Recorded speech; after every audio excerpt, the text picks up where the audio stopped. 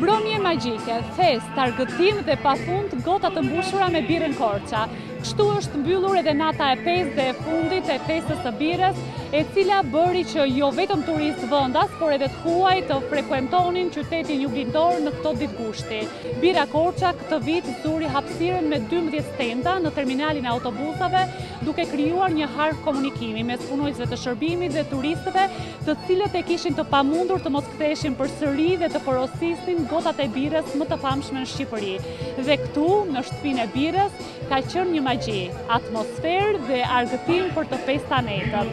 Bira Korça, bira e parë shqiptare, si gjithmonë, arriti të jetë kryefjala e kësaj feste, që tashmë është bërë traditë për Korçën. Këtu ambienti është shumë i këndshëm, po kënaqemi shumë. Është ambient fantastik, s'ka si bira Korça. Jemi kënaqur këtu në Korçë me ushqimet, me birën. Nuk e ndrojmë birën e Korçës me asnjë gjë. Te shtëpia e birës. Kërnackat e Korçës.